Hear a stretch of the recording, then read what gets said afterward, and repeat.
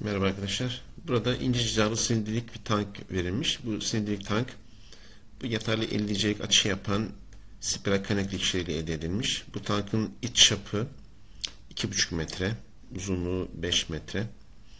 E, bu tankın sacının malzemesine ait elastik modülü 2-3 GPa, Poisson sayısı 0,3 olarak verilmiş.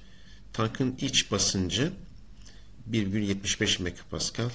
Bu tankın yapıldığı sacın malzemesine ait akma dayanımı da 350 MPa olarak verilmiş.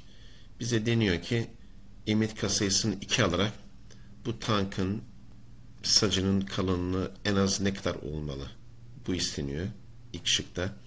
İkinci şıkta bu iç basınçtan dolayı tankın çapındaki iç çapındaki değişim ne kadardır? O soruluyor. Yine iç basınçtan dolayı tabi uçları kapalı bir tank tabii ki bu. Bu tankın L uzunluğunda yerleştir 5 metrelik bu uzunluğunda meydana gelen değişim ne kadar bu isteniyor. Bir de bu kaynak dikişlerini dik normal gerilmeli kaynak dikişi üzerindeki bu kaynak dikişini kesmeye çalışan e, kayma gerilmesi ne kadar bu soruluyor. Şimdi A şıkkında tankın sacının kalınlığı sorulmuş. Bu durumda tankın üzerinde iç basınçtan dolayı oluşan maksimum normal gerilme ne kadar? Bize çünkü akma dayanımı verilmiş. Akmadaki normal gerilme değeri verilmiş. E, buna göre tankın üzerinde iç basınçtan dolayı ne kadar bir maksimum normal gerilme meydana geliyor? Bunu hatırlamamız gerekiyor. Bunu bu emniyetli normal gemiyle kıyaslayacağız. Eğer bize tank sacının kayma gerilmesi vermiş olsa e, bu durumda e, buna göre de bir saç kalınlığı tayin edecektik. E, birini emniyetli normal gemiye diğerinde emniyetli kayma gemisine tayin edeceğimiz iki tane T kalınlığı olacaktı. Bunlardan en büyüğünü seçecektik. Ama bize sadece e, malzemenin akma dayanımı verilmiş. Akmadaki normal gemi değeri verilmiş yani. O zaman biz maksimum normal gemiye göre bunun T sacın kalınlığını tayin edeceğiz demektir. Evet buna göre peki maksimum normal gemi ne kadardır? İnce cidarlı uçları kapalı bir basınçlı kapta. Bunu bir hatırlayalım. Formül olarak. Şimdi ince cidarlı bir kapta uçları kapalı bir sindirik tank düşünelim. Uçları kapalı. Bunun üzerinde iç basınçtan dolayı oluşan gerilmeler şunlar. Şimdi uçları kapalı, ince ağırlı sindik bir tankta iki ana gerilme oluşuyor. Birisi tankın veya kazanın eksen doğrultusundaki normal gerilme. Şuna bir x ekseni diyelim. Şu da bizim y eksenimiz olsun. Tankın eksen doğrultusundaki şu gerilme sigma x. Buna bir eksene normal gerilme diyoruz.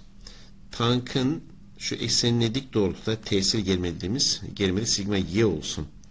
Şimdi bunları hatırlamak gerekirse sigma x eşittir p iç basınç d iç çap bölü 4t t cidar kalınlığı oluyor.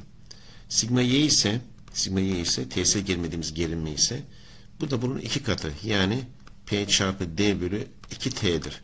Dolayısıyla bir basınçlı kapta en büyük normal gerilme tesir gerilmedir. Yani sigma y'dir. Şunu diyebiliriz. Sigma max eşittir P çarpı D bölü 2T'dir. Burada P iç basınç.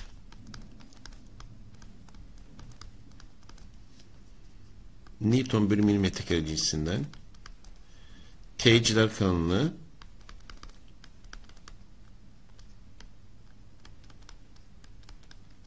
cida dediğimiz tankın yapıldığı sacın kalınlığı oluyor. D iç çap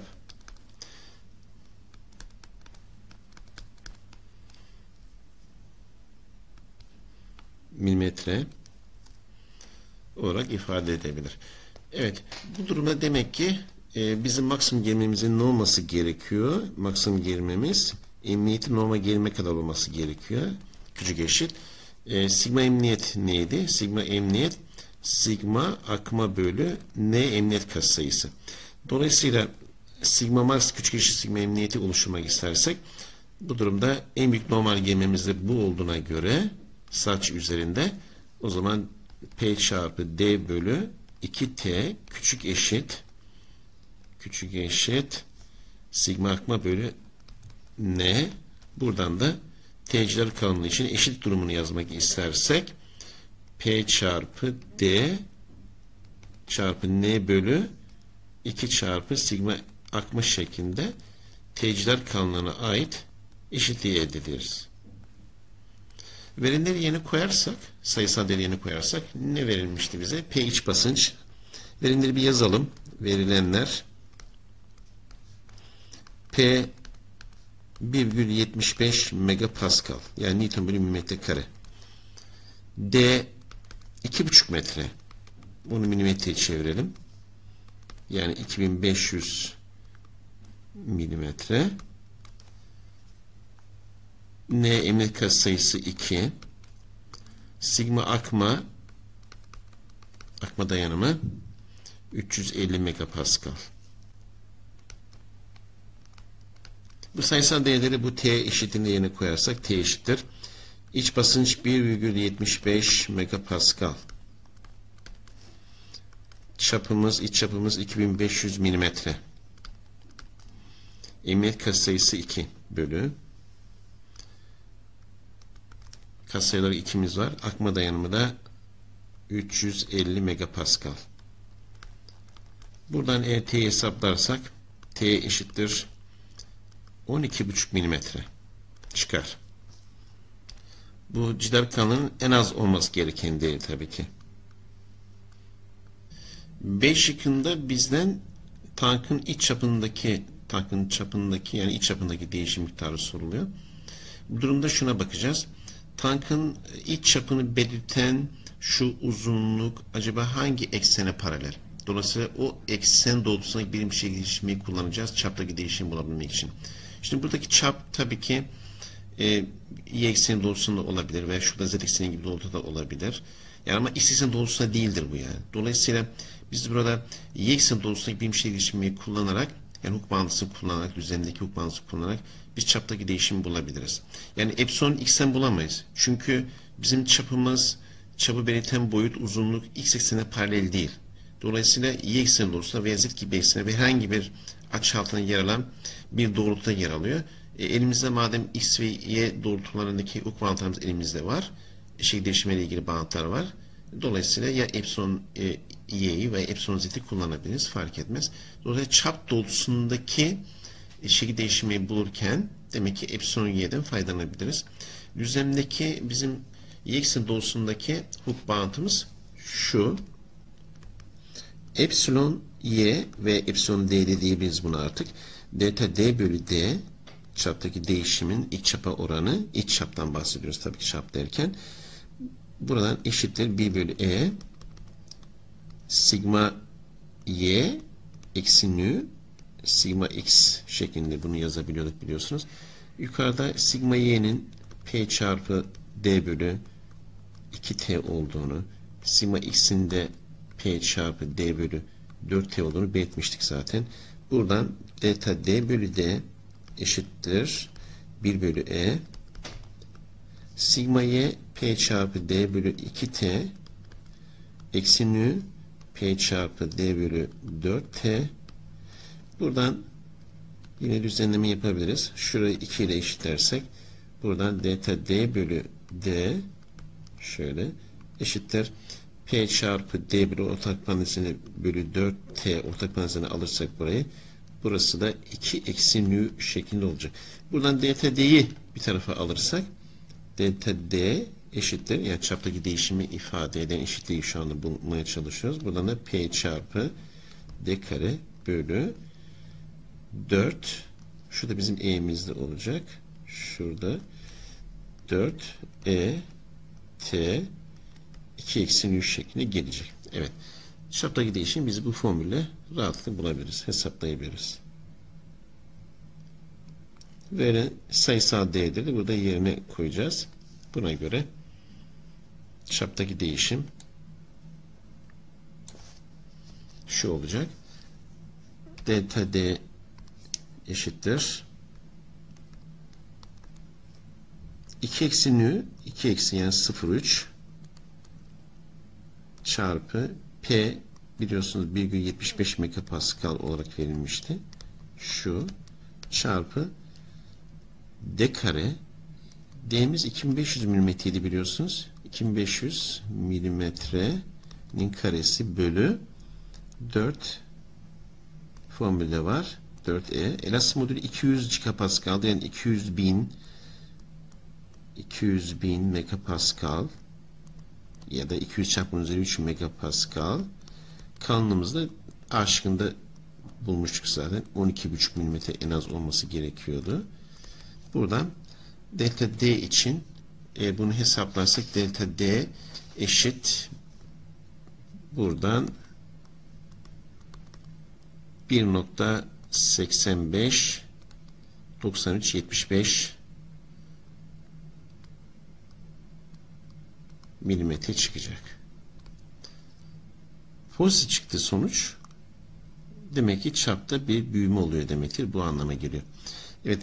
C, C şıkkında bizden tankın uzunluğundaki veya boyundaki değişim ne kadar soruluyor. Yani x ekseni doğrultusundaki o 5000 metre uzunluktaki değişim soruluyor bize. Bu da x eksenine paralel.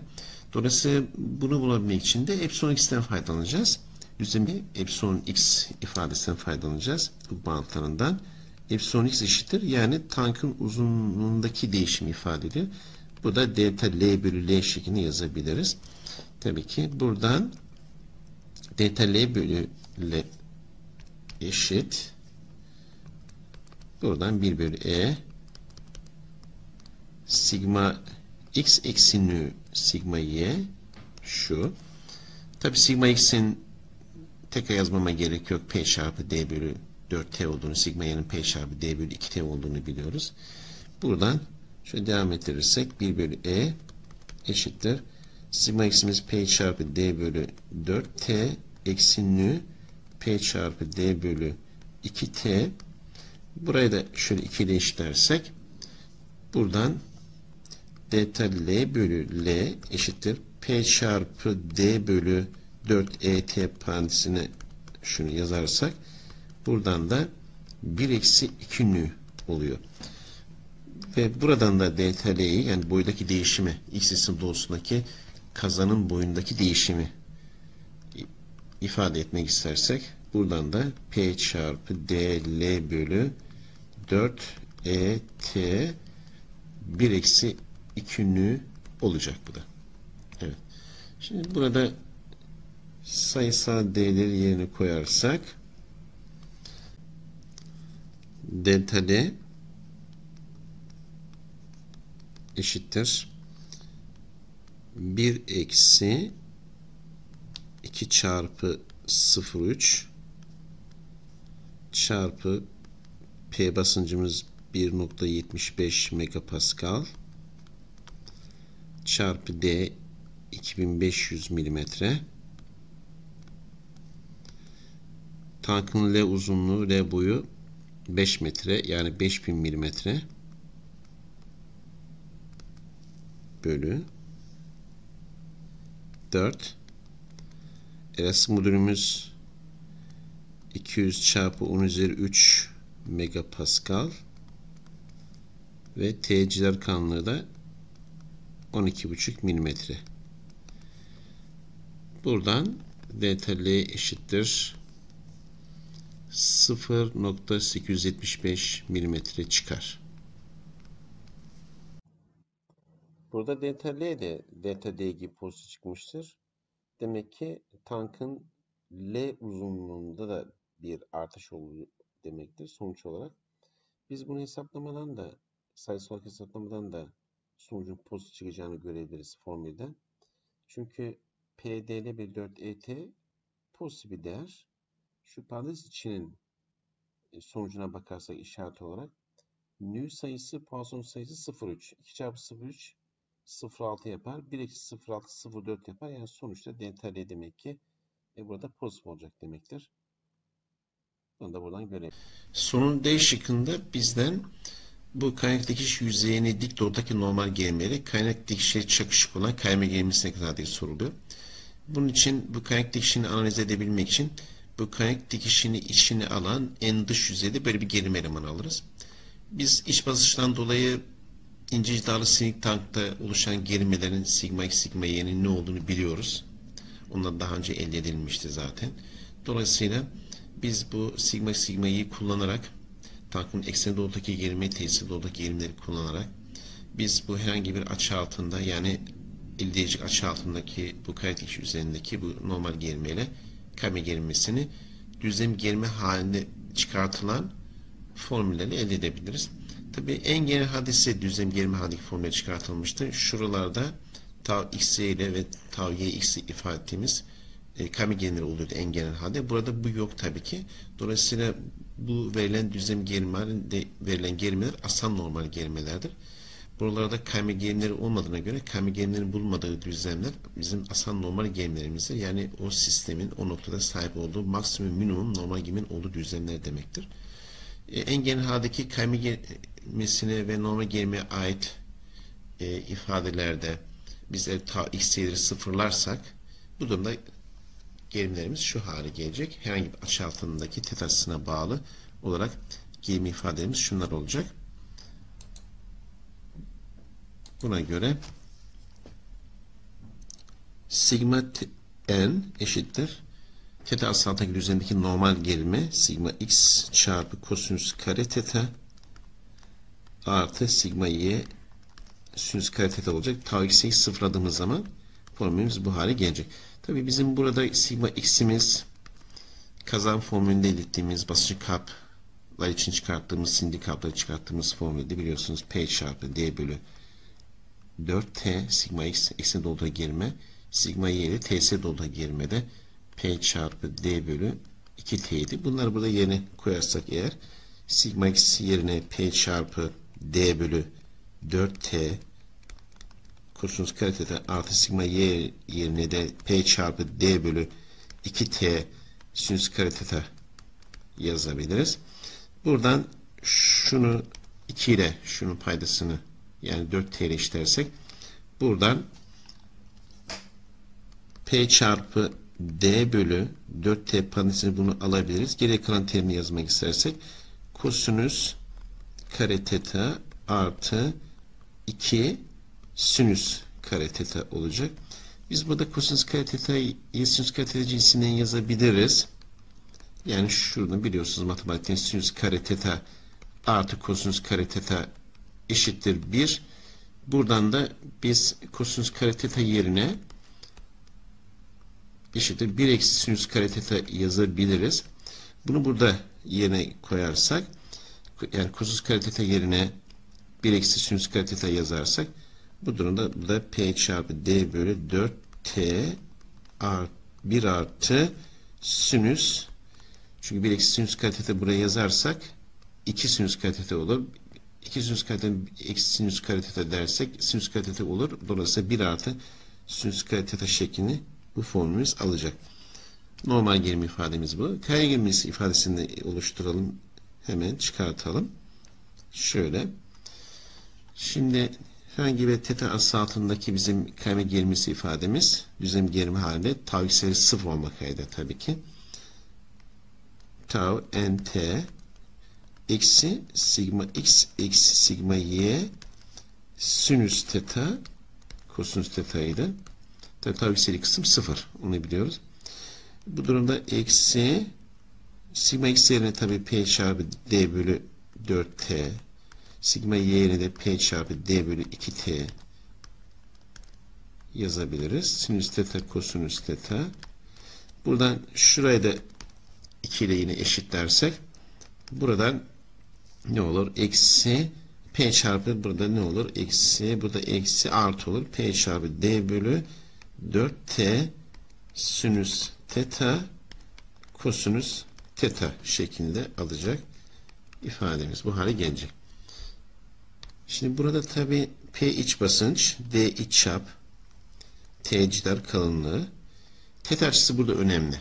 Buna dikkat edeceğiz. Şimdi teta açımız şu arkadaşlar. Teta açısı bizim şu sigma x gerilmesinin bulunduğu eksen olan x ekseninden itibaren yüzeyin normaline giderken taradığınız açı bizim tet açımız. Bu x ekseninden itibaren bu normal eksene giderken ki yönünüz e, saat yönündeyse bu negatif bir açı demektir.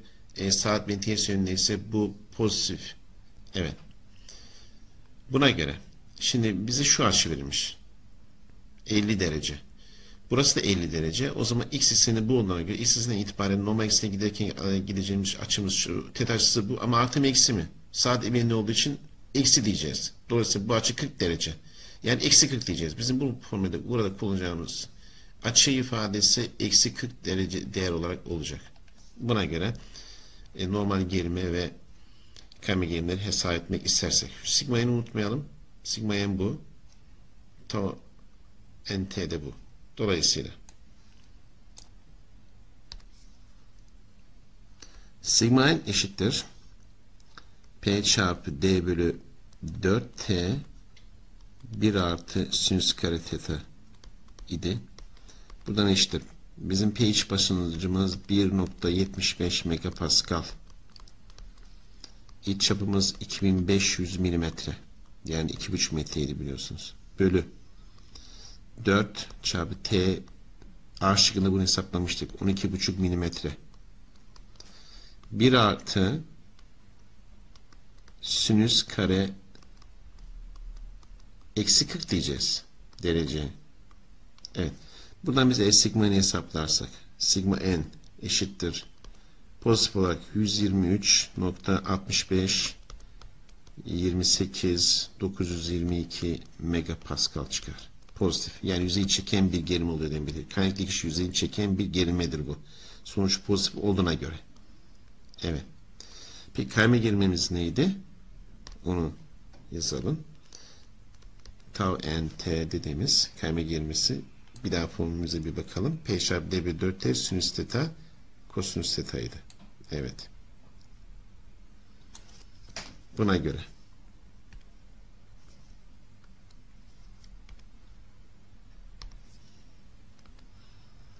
P çarpı D bölü 4T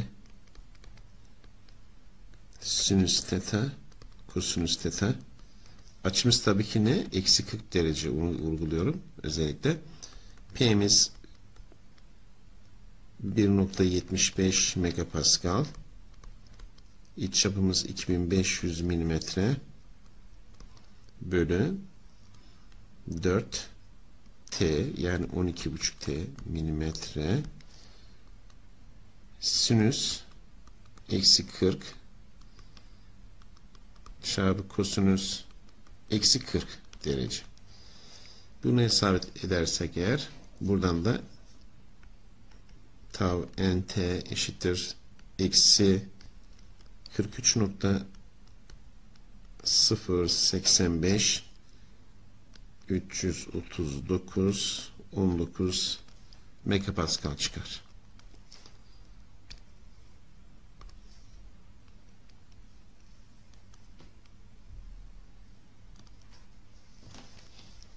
Evet. Bu sorunun çözümü için diyeceklerimiz bu kadar.